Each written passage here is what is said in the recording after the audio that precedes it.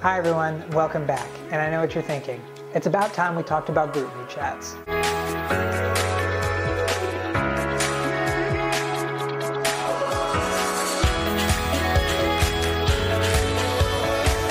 So I'm sure many of you are familiar with the app GroupMe. It's simply just a group chat app that we like to use. This and WhatsApp we are big on, so make sure to download both GroupMe and the WhatsApp apps to be able to communicate more effectively with us and your team members. So when you download this app, you'll get an invitation from your team leader to join your GroupMe group. You'll be able to follow notifications, news blasts, and just find out about important news and hangouts within your VAW group. So check your email inbox for an email from your team development coordinator about further instructions with this. Make sure to download the GroupMe app and also connect with your team leader about getting added to this group. But hey, that's all I got to say today. So I will group meet you soon.